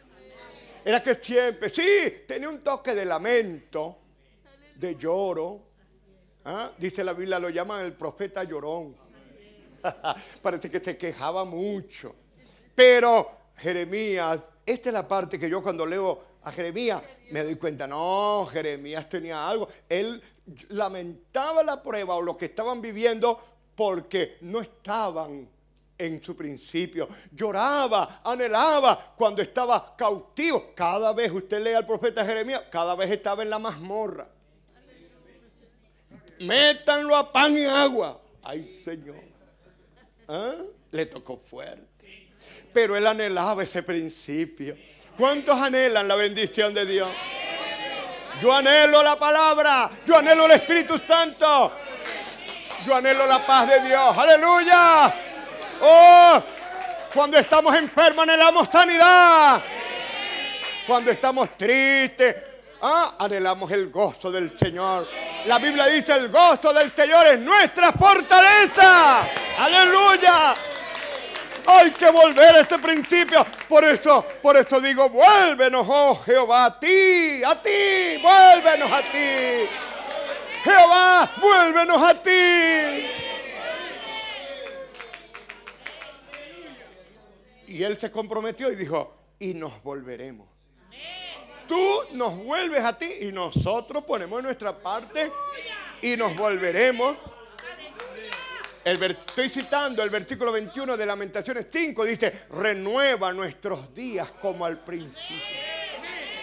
¿Se acuerda cuando usted llegó al Señor? ¿Se acuerda cuando usted llegó a esta palabra revelada? ¿Se acuerda el gozo que tenía? ¿Ah? Vuelva siempre a eso. ¿Se acuerda cuando usted se esforzaba y llegaba tempranito a la iglesia? ¿Se acuerda cuando usted estaba en la punta de la silla? Aleluya, amén, gloria a Dios, aleluya, amén. Vuelva a eso. ¡Oh, gloria a Dios! ¡Aleluya! Volvamos a esta palabra. El profeta dice, volvamos a la puerta de la hermosa. donde podamos decir, como dijo Pedro y Juan, ante aquella necesidad de aquel hombre paralítico, Pedro y Juan le dijeron, mira a nosotros. Y el hombre se quedó mirando, probablemente esperando a ver cuánta moneda le iban a dar. Y le dijo, no, monedas no, no tenemos oro ni tenemos plata. Pero hay algo que lo recibimos, dice el poeta, hace 10 días recibimos algo que bajó del cielo, algo, algo que llenó nuestra alma, incendió nuestro corazón. ¿Ah? No tenemos oro ni plata, mas lo que tengo te doy. En el nombre de Jesucristo, levántate y anda. Amén. Ahí está nuestro principio. Aleluya. Este es el principio del creyente. Si has, perdido eso, piensa que tienes que volver a eso. Si te has descuidado, si te has conformado mucho al mundo, si el trabajo te tiene dominado y has perdido ese gozo y ese ánimo y esta bendición, es hora de que volvamos a nuestro principio. ¿Cuánto dan gloria al Señor? Tenemos que hacernos una mirada interna, una mirada retrospectiva. ¿Ah? Cómo comenzamos y cómo estamos ahora hoy. Si has bajado de este nivel, debes examinar tu vida y pedirle al Señor que tenga misericordia y poner de tu parte, porque aquí eh, eh, Jeremías está diciendo, vuélvenos a ti y nos volveremos. Envuelve compromiso, envuelve una parte suya y mía. Veníamos hablando en camino acá de que siempre hay una parte que nosotros tenemos que hacer. Nosotros queremos que Dios los haga todo. Y Dios está esperando. Sí, yo lo voy a hacer todo. Pero tú da el primer paso. Ay, Señor, me va a bendecir, me va a prosperar. Amén. Pero dice el Señor, ¿eh? yo quiero ver que tú des el primer paso. Yo quiero ver que tú te ganas la bendición. Yo quiero ver que tú haces tu parte. Siempre hay una parte que tenemos que hacer nosotros. Ciertamente, y eso es lo que veníamos conversando, el precio ya fue pagado en la cruz del Calvario. Ya toda nuestra salvación fue pagada. ¿Cuántos dicen amén a eso? Ya Jesucristo nuestro Señor pagó todo en la cruz del Calvario. Lo selló con su sangre. Y cuando Él dijo consumado es ¿A qué cree usted que él se refería? Se refería a que la obra fue hecha completa. Nuestra salvación está hecha ya, fue pagada, fue comprada a precio de su sangre gloriosa. El profeta dice, nuestra salvación costó mucho, hermano. Costó la vida del Hijo de Dios. Costó la sangre pura y perfecta de Manuel que fuera derramada en la cruz del Calvario. Cuidado con pisotear esa sangre. Cuidado con volvernos atrás del santo mandamiento que nos ha sido dado. No podemos perder nuestros orígenes. No podemos olvidarnos de la obra de Dios por nosotros. Amén. ¿Cuántos dicen amén? Dice el profeta. Aleluya, mensaje compañerismo con Dios por medio de la reconciliación. Eso es lo que la iglesia necesita hoy. Un avivamiento del Espíritu Santo apostólico. Chapado a la antigua. Sacudidor de Dios. Eso es lo que necesitamos nosotros. ¿Cuánto dan gloria a Dios? Le estoy citando al profeta de Dios. Escuche esto. Él dice, esto es lo que necesitamos, un avivamiento del Espíritu Santo apostólico, chapado a la antigua, sacudidor de Dios, correcto, dice él. Escúchelo. Yo no me refiero, dice, dice el profeta, yo no me refiero a un montón de fanatismo. Yo no creo en un montón de emoción manufacturada. Ay, ay, ay. Ay, ay, ay. Está hablando un profeta de Dios. Yo no creo en un montón de emoción manufacturada, sino que me refiero a una genuina y verdadera salvación nacida de la sangre. Dice que libera al hombre del pecado y lo hace una nueva criatura en Cristo. Amén, dice el profeta. Gloria, y yo creo en esto.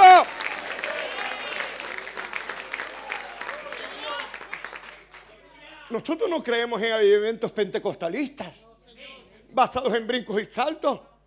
El avivamiento nuestro es aquí en el corazón. El avivamiento de la novia es de la palabra. Ya se lo voy a leer si da el tiempo. El avivamiento de la novia hoy en día es el avivamiento del Espíritu Santo vivificando la palabra en el corazón de la novia. Ya pentecostalismo lo dejamos atrás, ¿verdad que sí? Ah, pero eso no quiere decir que vamos a estar aquí tiesos y secos. No, todavía nos animamos. Nos alegramos y decimos amén. Y nos gozamos. ¿Sabe por qué? Porque cuando esta palabra es revelada, porque esto es lo que está sucediendo cada vez que el pastor se para aquí en el púlpito. La palabra está siendo revelada en tu corazón. El Espíritu Santo está abriendo su palabra en tu alma. Y dice el profeta que la palabra produce el estímulo del gozo de la revelación. O que el gozo de la revelación, la revelación produce un estímulo, un gozo. Y eso es el vino nuevo. ¿Cuántos tienen vino esta noche? Seguro que tienes vino. Los que tienen vinito, los que tienen vinito están alegres. No están dormidos. Se gozan y dicen gloria a Dios y están yupi. Aleluya. ¿Cuánto da gloria? Cuidado. Cuidado sucede como sucedió en las bodas de Caná de Galilea el primer lugar a donde, la primera reunión social a donde acudió el Señor Jesucristo, la primera. Y donde hizo el primer milagro. Y precisamente el primer milagro que él hizo fue de convertir el agua en vino. Porque le llegaron a María, mm, los marianos, los que creen en María. Vamos a ver qué fue lo que hizo, si fue María la que hizo el milagro, o a quién los remitió María si aquí hay alguno que cree que María, eh, cuidado hermanito, ese principio, ese no es. Ese fundamento no está bueno. ¿ah? Le llegaron a María y le dijeron, vino no tienen. Cuidado que no te digan a ti esta noche que no tienes vino. ¿Eh? ¿Cuánto dan gloria a Dios? Vino, vino no tienen, dijeron. Ajá. Imagínate una fiesta, un matrimonio y se acaba el estímulo. ¿Ah? ¿Cómo? Que se acabó el vino. Y María, ¿qué fue que dijo? Vaya a hacer un milagro. Nada. Le dijo, mira, aquel que está allá, sentadito. ¿ah? Vayan a él, vayan a él. Aleluya. Ella los remitió a Jesucristo. Y le dijo, vayan a él y él les dirá lo que tienen que hacer. ¿Cuánto le dan gloria al Señor? ¿Cuántos recuerdan qué fue lo que hizo? Mandó a llenar seis tinajuelas de agua. No siete, seis tinajuelas de agua. La séptima era él y oró y convirtió esa agua en vino. Y le dijo al, al maestresala, se la llevaron y probaron. ¿ah? Como decimos en Venezuela, esto es calidad. ¿Cuánto dan gloria a Dios? Aleluya. Así que, mi hermanito y mi hermana, que no se diga vino no tiene esta noche o mañana o en el culto del domingo. No, no, no, no, vino no tiene. ¿Cómo que sí? Hay vino, aquí hay vino en el corazón. Vamos, vamos, quiero terminar. Yo, yo estoy mirando el reloj. Pero oiga esto, les quiero citar más del profeta. Yo me refiero a una genuina y verdadera salvación, dice el profeta, nacida de la sangre, que, libera al hombre del pecado y lo hace una nueva criatura en Cristo. Ustedes saben que esa es la verdad, dice el profeta. Venga sobre estas bases, venga Dios de esta manera y vea lo que sucede. Amén. Gloria al nombre del Señor. ¿Cuántos dicen gloria al nombre del Señor? Amén, amén. Sí, Señor, para la gloria del Señor. Amén. Ahí está, bendito sea el nombre del Señor. Escuche. Mensaje, las edades Mirna, edades de la iglesia. Cada avivamiento fresco y verdadero será porque los hombres han vuelto a la palabra para su edad. ¿Escuchó eso? Cada avivamiento fresco y verdadero será porque los hombres han vuelto a la palabra para su edad. El clamor de cada edad es la reprensión. Han dejado la palabra de Dios. Arrepiéntanse y vuelvan a la palabra. Desde el primer libro de la Biblia, Génesis, hasta el último Apocalipsis, hay una sola razón por la cual Dios te disgusta dejar la palabra. Y hay un solo remedio para obtener de nuevo su favor, volver a la palabra. ¿Cuánto le dan gloria al nombre del Señor? Amén. Por eso es que le quería citar ahora rato la escritura cuando el Señor reprende la primera edad de la iglesia, la edad de Éfeso. ¿Ah? Porque has dejado tu primer amor. Que eso llama la atención. Como les quise decir ahora, ¿cómo es posible que la primera edad de la iglesia ya el Espíritu Santo está reprendiendo y está diciendo, ¿por qué has dejado tu primer amor? ¿Ah? Arrepiéntete, dice, y vuelve otra vez a donde has caído, porque si no, vendré a ti. Estoy citando la primera de la iglesia, el Espíritu Santo reprendiendo. Si no, vendré a ti y quitaré tu candelero de su lugar. Si no te hubieres arrepentido. Es sorprendente lo que el profeta dice allí, refiriéndose a quitaré el candelero, quitaré el candelero. Dice el profeta, esto, esto quiere decir que Dios les quita a los pastores fieles.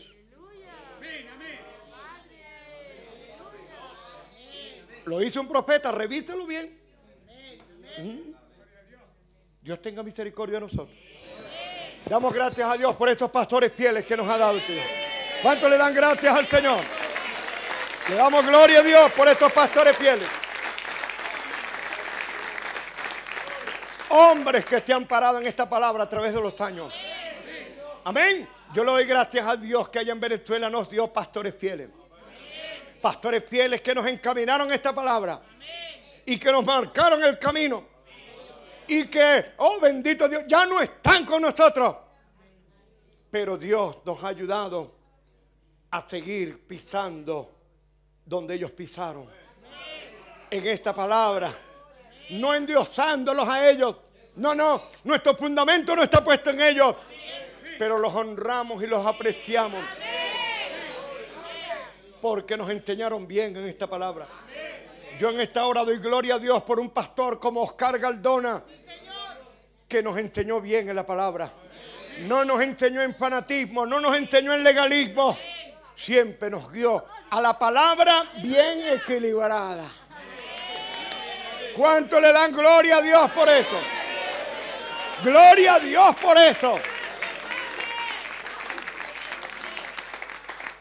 Cuando yo llegué a ser pastor de la iglesia, le agradecí a Dios. Y en cierta manera el trabajo fue fácil. Porque era una iglesia bien entrenada y bien enseñada. Difícil es cuando uno tiene que comenzar con unos creyentes, hermanos, desde cero. Y ay, ay, ay, que la cosa, y que lo que tienen es a la Virgen, y lo que tienen es al Rosario y la cosa. Pero a mí me tocó, hermano, un honor, un privilegio, una iglesia bien enseñada. ¿Cuánto le dan gloria a Dios por esto? Una gran ayuda. Le agradezco al Dios de la gloria. ¿Cuántos dicen amén? Aleluya. El profeta en el mensaje, Dios guarda su palabra. Está orando para predicar y dice, Padre, que este avivamiento continúe. Un verdadero avivamiento del Espíritu Santo con las verdaderas señales de Dios. Y que este avivamiento pueda estar edificado sobre la Biblia. De manera que ese fundamento sea sólido. Concédelo, Señor, porque ningún otro fundamento puede ser establecido, sino el que ya ha sido puesto. Efesios 2.20. ¿Qué dice Efesios 2.20? ¿Ah?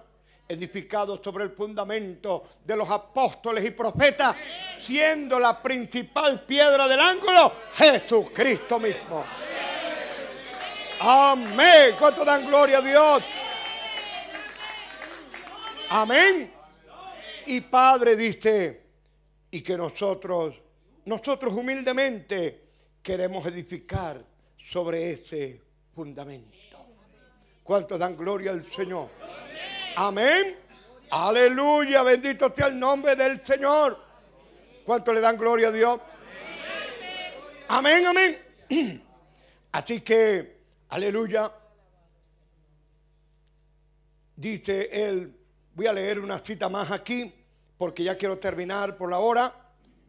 Pero escuche lo que él dice, el mensaje, aleluya. El mensaje, mire, voy a leerles acá.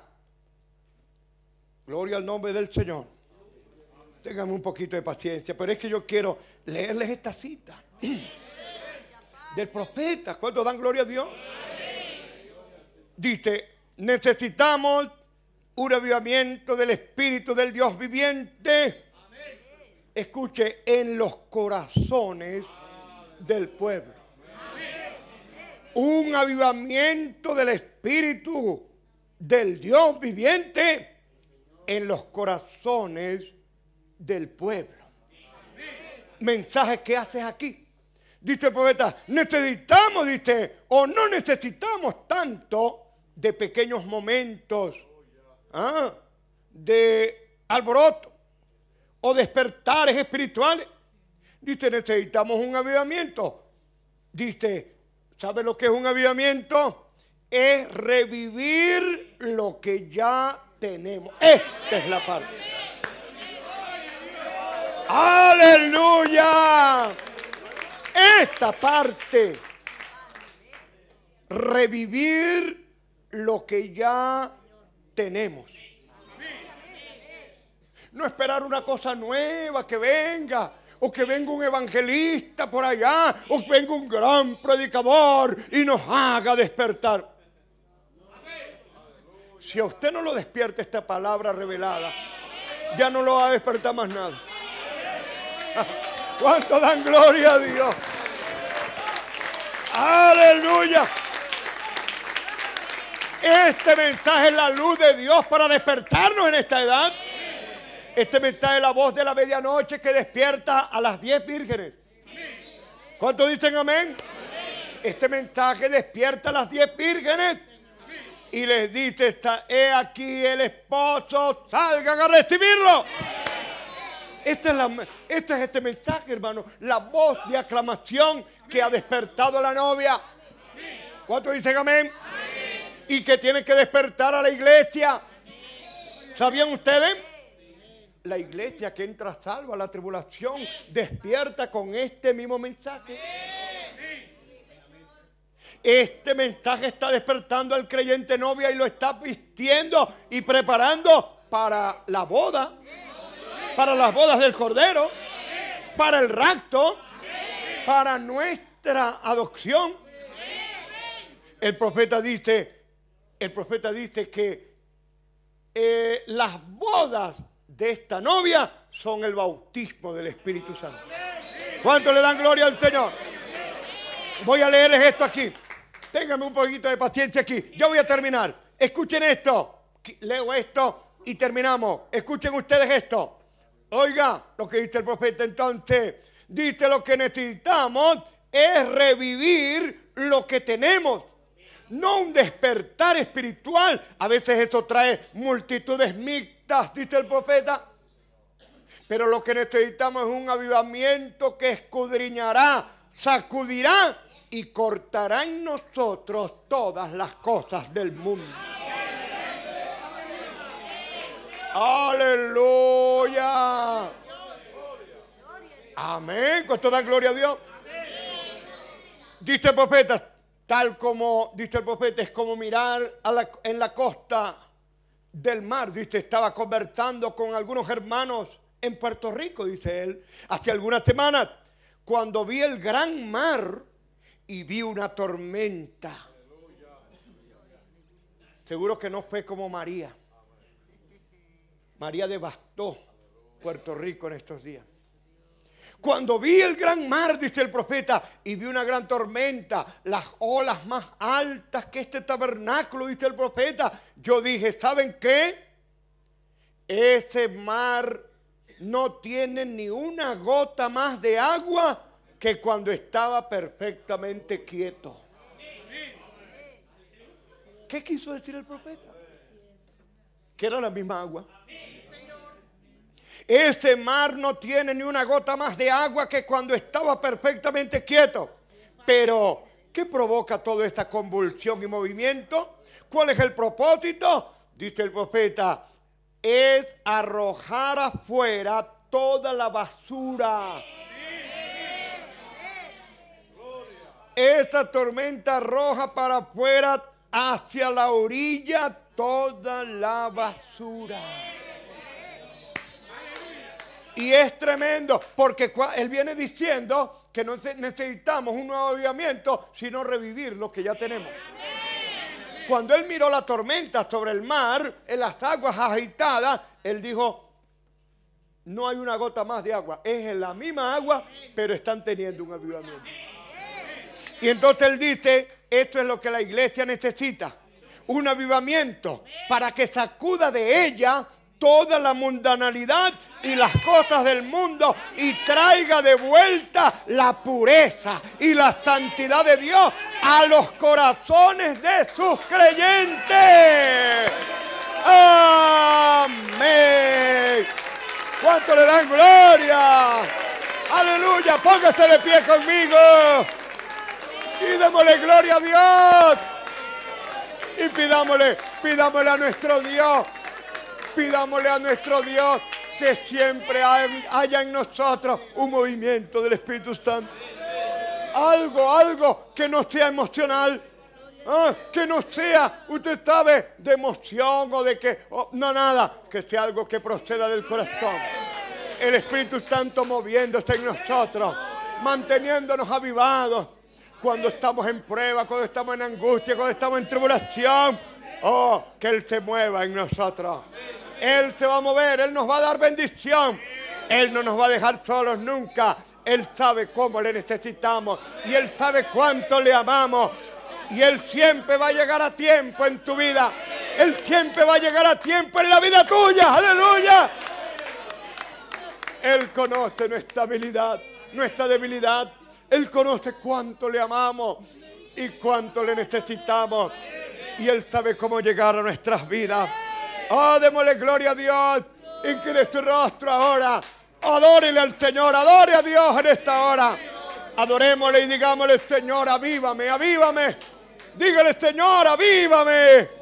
Quiero volver al principio. Ayúdame. Dígale, dígale, Señor, no me dejes volver atrás. Nunca me dejes volver atrás, Señor. Ayúdame.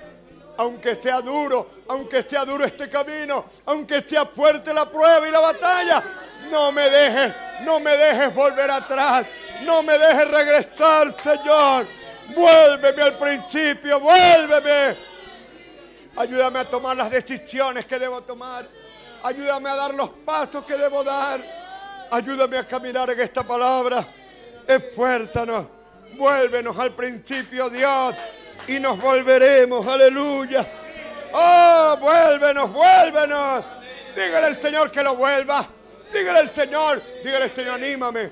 Dígale al Señor, tengo pruebas. Dígale al Señor, tengo pruebas, tengo luchas. Pero ayúdame, tú me vas a ayudar, Señor. Tú me vas a exportar cada día, Padre. Yo quiero seguir, yo quiero caminar en esta palabra. Yo quiero proseguir al blanco. Proseguir, proseguir. Olvidando ciertamente lo que quedó atrás y extendiéndonos hacia lo que está delante. Prosigo al blanco, al premio de la soberana vocación de Dios en Cristo Jesús. Padre Celestial, bendice a este pueblo en esta hora. Bendice a cada vida, Señor. Yo sé que aquí hay creyentes que se esfuerzan cada día. Ellos te están esforzando para ti, oh Dios. Ellos están luchando por permanecer en esta palabra. Están esforzándose cada día. La batalla es fuerte, el enemigo ha venido. El enemigo ha venido con tanta furia, con tantas cosas, Señor. Pero tu palabra dice que el enemigo vendrá como río, pero el Espíritu de Jehová levantará bandera contra él. Aleluya. Levanta bandera contra el enemigo, Señor. Y defiende a tu novia amada. Anime a estos creyentes. Esfuerza a estos creyentes. Ayúdales a proseguir adelante. Que nada los detenga. Y que ellos permanezcan fundamentados en tu palabra. Gracias, Padre, por esta gozo de estar aquí esta noche. Gracias por permitirnos compartir tu palabra. Bendice al pastor de esta congregación, nuestro hermano Jorge. Ayuda y bendice el cuerpo de diáconos, a todos los oficios aquí. Bendice, Señor, a cada creyente. Tus bendiciones permanezcan en el corazón de cada uno de tus hijos. Así lo pedimos. Para tu gloria y para nuestra bendición. Amén. Nuestro pastor, hermano Jorge, adelante. Dios lo bendiga, Dios le bendiga, mis hermanos. Aleluya. Gracias, hermano, gracias por la confianza. Gracias. Dios te bendiga. Amén, gloria a Dios.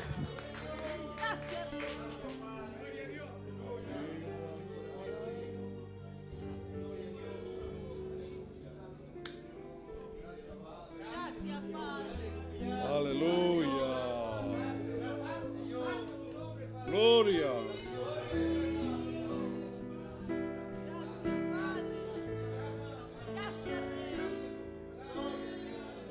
Gracias, gracias,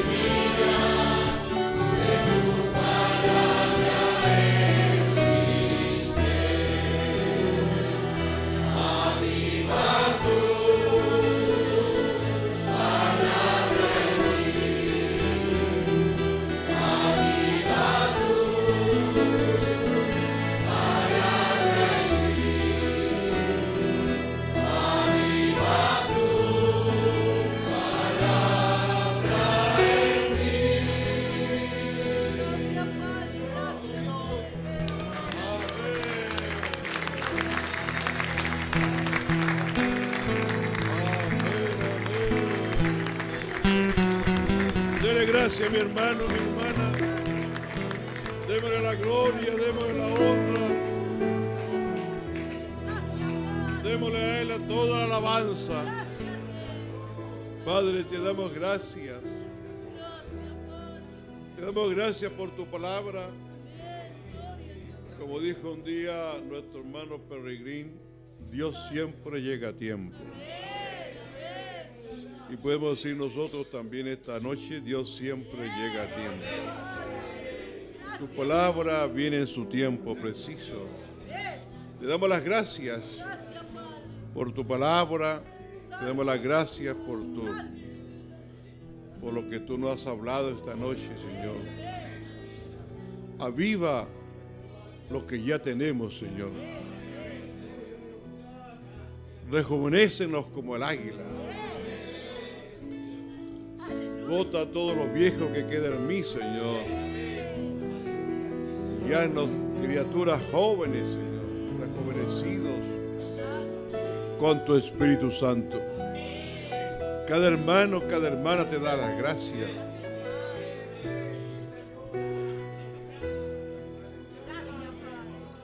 Dele gracias, mi hermano. Seamos muy agradecidos.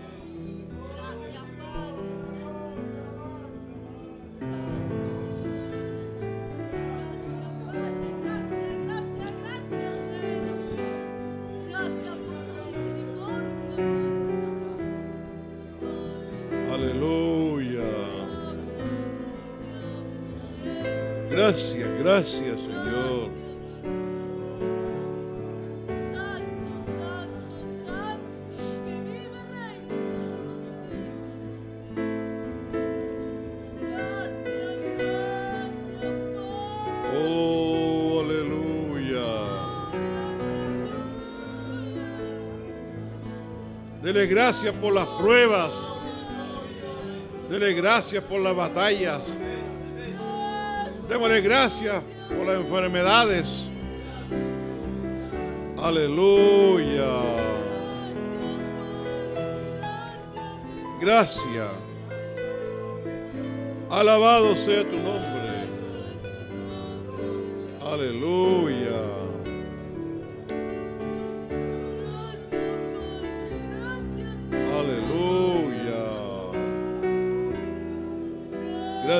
Gracias, Señor. No estamos derrotados, hermano y hermana.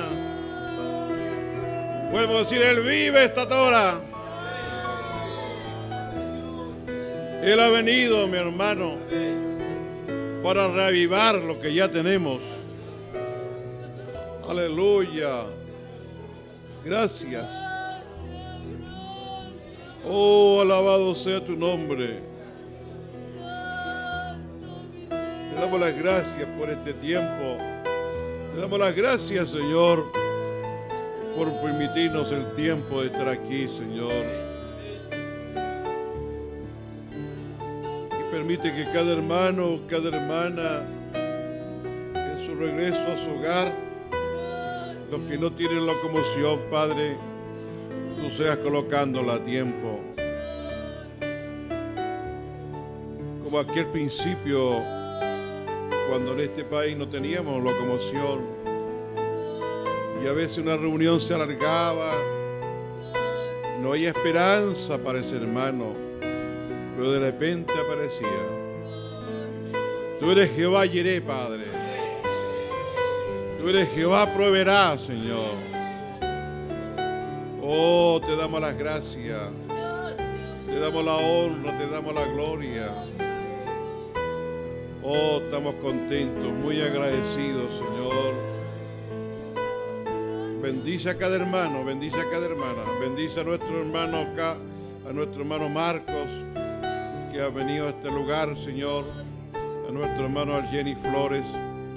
Sea tu gracia con ellos, Señor. Ayuda a mi hermano Rojas también que ha venido esta tarde, Padre. A nuestro hermano Peralta, Señor. A nuestro hermano Esteban Salazar. Seas tú bendiciéndolas ricamente, Padre. Ya que el domingo continuamos con esta fiesta. Y a ti te daremos la gloria, te daremos la honra. te daremos la alabanza. Señor, ya que el domingo estaremos a tiempo completo, Padre. Tenemos tu palabra los labios de nuestro hermano Pastor Peralta.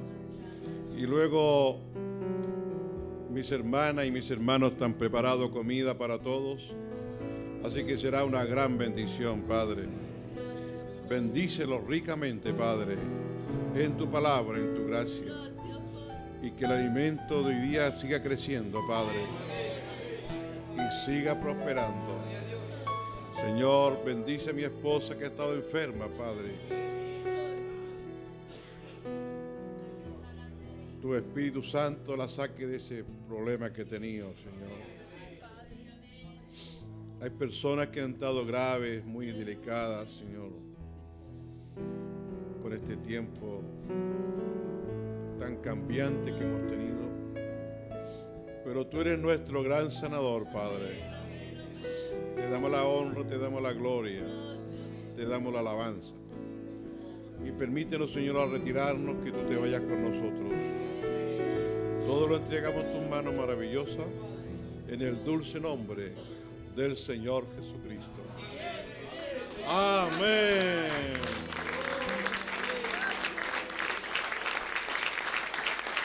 Amén. ¿Cuántos mandamos saludos para Venezuela? Amén. Gloria. Amén. Nos vamos cantando. Yo me estaba acordando un corito por medio de las pruebas, la batalla. Yo me gozo en la lucha, yo me gozo en la prueba. ¿Se acuerdan? Yo me go- la, la, la, la, la, la, la, la. Oh. Cristo es mejor a beber.